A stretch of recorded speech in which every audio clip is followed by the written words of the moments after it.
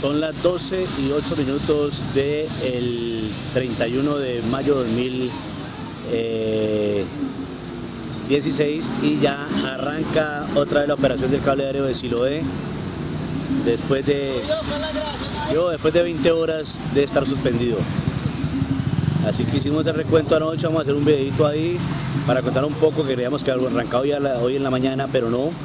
Arrancó el cable hoy a las 12 y 8 minutos empezó a funcionar este cable aéreo de Siloé después del aguacero de ayer y después de la parada de 20 horas.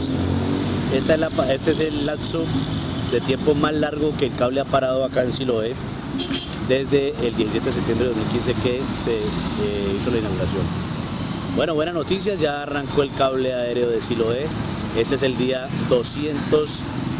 213 de operación del cable aéreo de Siloé de forma pagada.